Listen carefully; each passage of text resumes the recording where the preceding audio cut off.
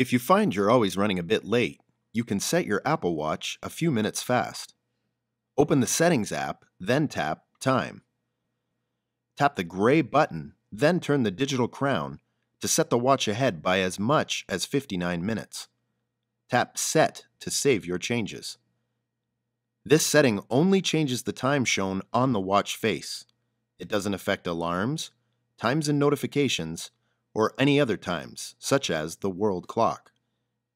Please see the text version of this tutorial for more details, and remember to follow or subscribe to iClarified for more Apple news, videos, and tutorials.